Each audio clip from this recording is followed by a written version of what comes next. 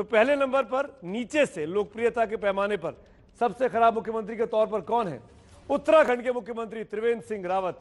रावत साहब, माफ़ करिएगा, लेकिन आपकी लोकप्रियता वैसी है जैसे एक साल पहले थी, आपकी लोकप्रियता और कम हो गई है। मनोहर लाल खट्टर, हरियाणा के मुख्यमंत्री, दोनों भारतीय जनता पार्टी के मुख्यमंत्री हैं और दोनों लोकप्रियता के पैमाने में सबसे खराब मुख्यमंत्रियों की सूची में निचले